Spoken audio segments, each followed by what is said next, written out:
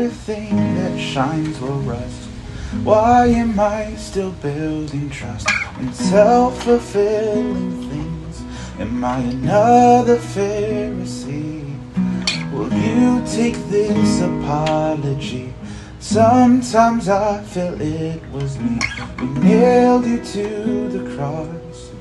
Am I another lost cause wasting precious minutes trying to save my image? Broken prodigal is too proud. I wanna be